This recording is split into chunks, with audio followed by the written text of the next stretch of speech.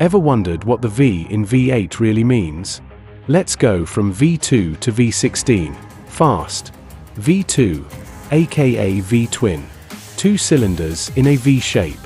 You'll find them in motorcycles. Loud, torquey, iconic. V4, rare, compact. Used in some bikes and older cars. Smooth but tricky to build. V6, the daily driver king. Power plus efficiency in a tight package. V8, big power, big noise. Muscle car madness.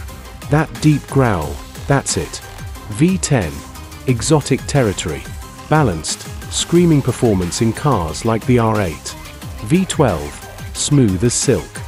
Found in supercars and royalty on wheels. V16, ultra rare. Bugatti's heart beats with 16 cylinders. Insane engineering.